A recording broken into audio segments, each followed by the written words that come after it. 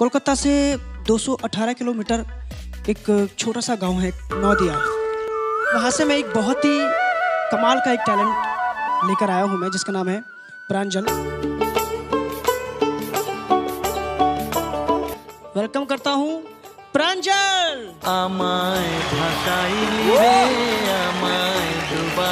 ये जो इंस्ट्रूमेंट है आपके हाथ में इसको क्या कहते हैं? इसका नाम है दो तारा दो तारा हाँ।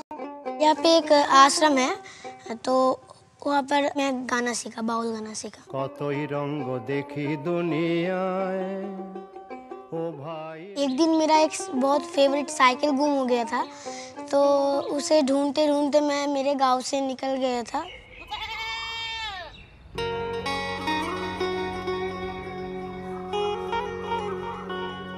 तो इस गाँव में आकर मैं एक फ़कीर अंकल को देखा फिर उनको पूछा कि अंकल मेरा साइकिल देखा आप?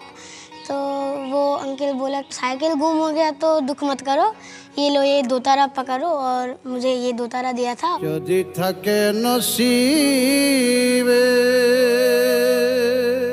अपनी अपनी असीब। तुम्हारी साइकिल खो गई हाँ। उसी साइकिल को ढूँढने की वजह से तुम्हें ये दो तारा मिल गया। तो ज़िंदगी में यहाँ पर एक सीख बनती है कि भाई कोई चीज़ अगर आपकी बहुत प्यारी हो और वो खो जाए तो गम नहीं करना चाहिए क्योंकि ऊपर वाले ने शायद उससे अच्छी चीज़ लिखी होती है आपके नसीब